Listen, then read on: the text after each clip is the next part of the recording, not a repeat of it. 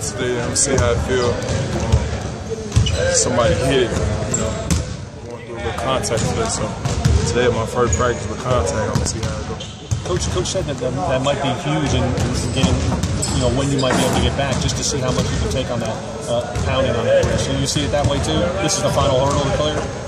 Pretty much. Um, I haven't had no uh, practices like, to this caliber we're gonna have today. So uh, having it go today will determine the fact of whether I play tomorrow in the upcoming game. Do you think you'll go tomorrow, or Looks like we gotta see how this practice goes.